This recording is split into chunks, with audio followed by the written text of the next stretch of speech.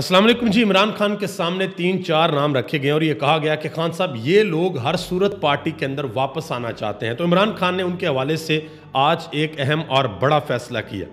اس کے علاوہ آسمہ جہانگیر کانفرنس ہوئی ہے۔ اس کے اندر پاکستان کے سینئر موسٹ اس وقت جو سپریم کورٹ کے جج ہیں جسٹس منصور علی شاہ، انہوں نے شرکت کی ہے اور شرکت کر کے انہوں نے آج اہم ترین باتیں کی ہیں۔ جو مداخلت ہوتی ہے عدالتی معاملات میں، اس کے حوالے سے، اور ہماری عدالتیں کس طریقے سے کام کر رہی ہیں، انہوں نے بڑی اہم باتیں آج کی ہیں۔ اس کے علاوہ پاکستان تحریک انصاف کی ایک اہم ترین شخصیت نے جنرل باجوہ کے ساتھ ایک دوسری شخصیت کا نام بھی جوڑ دیا۔ اور یہ کہا ہے کہ یہ وہ دو بندے ہیں جن کی وجہ سے پاکستان عدم استحکام کا شکار ہوا ہے۔ اس کے علاوہ نجم سیٹھی نے اس وقت جو اسٹیبلشمنٹ اور عمران خان کے درمیان ایک میچ پڑا ہوا ہے، انہوں نے بتا دیا کہ بھئی اس وقت صورتحال کیا ہے۔ اور آخر میں آپ کو شہید عرش شریف کے متعلق بھی ایک اہم خبر ہے، وہ بھی آپ کے سامنے رکھنے کے لیے جا رہا ہوں۔ تو شروع کرتے ہیں جی۔ سب سے پہلے عمران خان کو بتایا گیا کہ جناب محترم فواد چودری صداقت عباسی، ملکہ بخاری عثمان ڈار، یہ وہ لوگ ہیں جو پاکستان تحریک انصاف کے اندر واپس آنا چاہتے ہیں اور انہوں نے فیصلہ کر لیا ہے کہ یہ لوگ واپس آئیں گے۔ آج سے کچھ دن قبل عمران خان نے جیل کے اندر یہ کہا تھا اپنی پارٹی کے لوگوں سے کہ وہ لوگ جو واپس آنا چاہتے ہیں، آپ کو پتا کہ وہ کراچی سے کچھ لوگ ہیں، وہ واپس آنا چاہتے ہیں۔ علی زادی تو عمران خان نے کہا تھا کہ اس طرح کے جو لوگ ہیں نا، وہ دوبارہ پریس کانفرنس کریں گے اور بتائیں گے کہ پارٹی چھوڑی کیوں تھی۔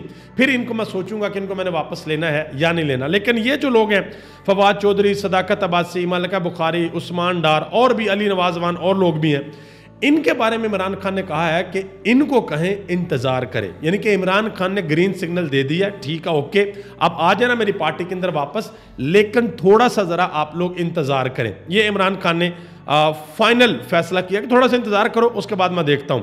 آگے آ جائیں جی آج کی سب سے اہم اور جو بڑی خبر ہے وہ یہ ہے کہ جسٹس منصور علی شاہ، جو کہ ہمارے اگلے چیف جسٹس ہیں، قاضی فائزہ کے بعد، انہوں نے آج آسمہ جہانگیر کانفرنس کے اندر شرکت کی ہے، وہاں پر بڑا اہم خطاب کیا ہے۔ جو باتیں انہوں نے کی ہیں، وہ میں آپ کے سامنے رکھنے لگا ہوں۔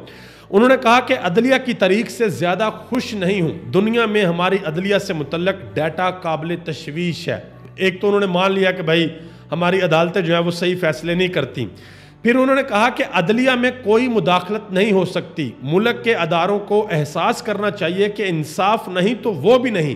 انصاف کے سسٹم کو کمزور کریں گے تو آپ اپنے آپ کو کمزور کر رہے ہیں۔ مجھے سمجھ نہیں آتی، یہ کوئی راکٹ سائنس نہیں ہے جو کہ سمجھ نہیں آ رہی۔ انہوں نے کہا کہ اگر آپ مداخلت کریں گے، اگر آپ انصاف کے نظام کو کمزور کریں گے، تو یہ دراصل آپ اپنے آپ کو خود کمزور کر رہے ہیں۔ آخر میں انہوں نے کہا کہ مجھے سمجھ نہیں آتی ہے کہ راکٹ سائنس نہیں ہے۔ یہ بڑی آسان بات ہے، اس کو ہمیں سمجھنا چاہیے۔ پھر انہوں نے کہا کہ آئین ہمیں کہتا ہے کہ ایک آزاد جوڈیشری ہونی چاہیے۔ میں اپنی جوڈیشری کا دفاع نہیں کر سکتا اور نہ کرنا چاہتا ہوں۔ اس وقت دو ملین کیسز زیر التوا ہیں۔ ہمارا دنیا میں ایک سو بتالیسواں نمبر ہے جو کہ بہت برا نمبر ہے اور بہت بڑا نمبر بھی ہے۔ یہ انہوں نے کہا کہ اس وقت جو ہمارا دنیا کے اندر آپ کہتے ہیں نا کہ جی فلاں ملک کی عدالتیں کیسے کام کرتی ہیں فلاں ملک کی کیسے کرتی ہیں؟ تو ہماری عدالتیں اس طریقے سے کام کرتی ہیں کہ ہمارا ایک سو بتالیسواں نمبر ہے۔ آخر میں انہوں نے کہا کہ جو جج پرفارم نہیں کر رہا اس کو سسٹم سے باہر کریں۔ کرپشن اور نااہلی پر کوئی سمجھوتا نہیں ہونا چاہیے۔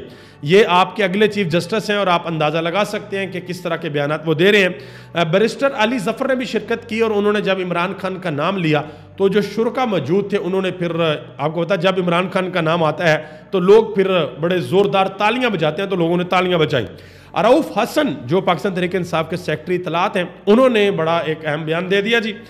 کہتے ہیں کہ جنرل باجوہ اور ان کے سسر دونوں پاکستان میں عدم استحکام کے ذمہ دار ہیں۔ جنرل باجوہ قسم کھا کر جھوٹ بول رہے ہیں۔ ابھی دو تین دن پہلے جنرل باجوہ نے قسمیں کھائی تھیں۔ قرآن پاک کے اوپر اپنی والدہ کی قبر کا ذکر بھی کیا کہ بھائی، نہ تو میں نے عمران خان کی حکومت کرائی ہے، نہ میں نے نواز شریف کو باہر بھیجا۔ اس کے علاوہ ایک اور بات کہی تھی جنرل باجوہ نے۔ تین باتیں کہی تھی کہ جی یہ تینوں کام میں نے نہیں کیے۔ تو اپنی ایکسٹینشن کی بات کی تھی، تیسری کہ جی میں نے اپنی ایکسٹینشن کے لیے کچھ نہیں کہا تھا۔ تو انہوں نے کہا اروف حسن نے کہ جنرل باجوہ قسمیں کھا کر جھوٹ بول رہے ہیں۔ اب آ جائیں جی نجم سیٹھی پہ۔ کیا کہتے ہیں؟ ذرا سنیے گا۔ کہتے ہیں کہ اسٹیبلشمنٹ کہتی ہے کہ عمران خان بہت خطرناک ہے۔ عمران خان کو کنٹرول نہیں کیا جا سکتا۔ عمران خان کا نام لے تو اسٹیبلشمنٹ کی آنکھوں سے آگ نکلتی ہے۔ یہ انہوں نے الفاظ استعمال کی ہیں۔ انہوں نے کہا کہ اس لیے تو کریک ڈاؤن کرتے ہیں تحریک انصاف کے خلاف، اسی لیے تو محسن نقوی کو لے کر آئے ہیں کہ جہاں تحریک انصاف باہر نکلے اور اس کے اوپر تحریک انصاف کے اوپر کریک ڈاؤن کر دیا جائے۔ اور آخر میں جی ایک اہم خبر ہے اسلام آباد ہائی کورٹ سے۔ حامد میر صاحب نے ایک عدالت میں درخواست دائر کر دی ہے کہ شہید ارشد شریف کی شہادت کی تحقیقات کی جائیں اور اس کے اوپر ایک جوڈیشل کمیشن بنایا جائے، جو کہ یہ تحقیقات کرے کہ ان کی شہادت کس طریقے سے ہوئی ہے اور اس کے پیچھے کون کون سے لوگ موجود ہیں۔ یہ ابھی تک اہم ترین اپڈیٹس تھیں جو میں نے اب تک پہنچا دی ہیں۔ اب سب کا بہت بہت شکریہ۔ پاکستان زندہ باد، پاکستان کے عوام اور پاکستان کے ادارے۔ پائندہ باد۔